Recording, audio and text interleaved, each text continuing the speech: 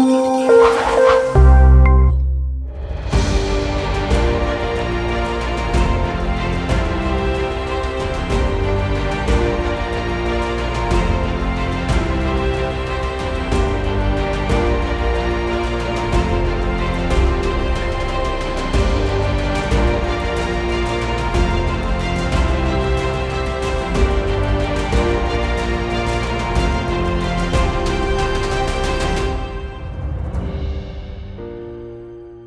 عزيزي المشاهد الكريم أسعدت وقتا أصلي من قلبي.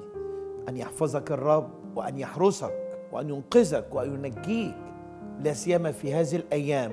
سأجيب عن سؤال غريب لكنه واقعي وفي أمس الاحتياج إليه لكل الشعوب.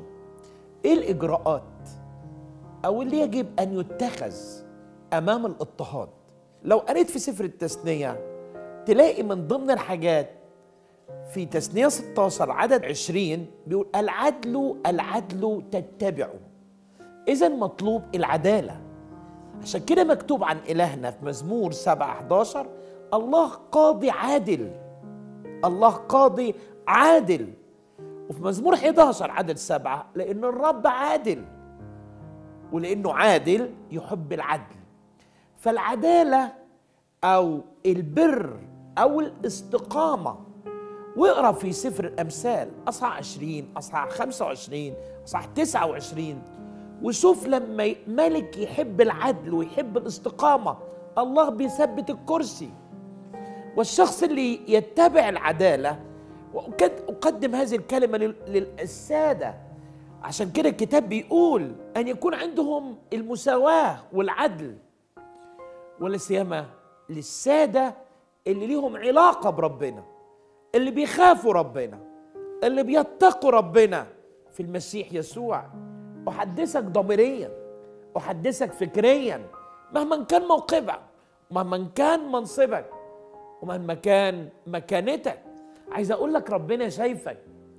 شوف أي شخص كان في مكانة وكان في موقع واتبع العدالة وأحب ربنا وأحب شعب ربنا قد إيه الرب حفظه وحفظ كرسيه ألم يبارك الرب كورش؟ رغم إنه كان أممي وكان فارسي ولكن هيأ فرصة للشعب إنهم يعبدوا وإنهم يعيشوا لربنا وإنهم يبنوا وأن يكونوا أيضا بحسب فكره. وألم يبارك الرب بعض الرؤساء في أيام دانيال. لقد عاش دانيال وعاصر دانيال. رؤساء وممالك كثيرة. لكن كان سبب بركة ليهم. وأنا عايز أقول لك على حاجة.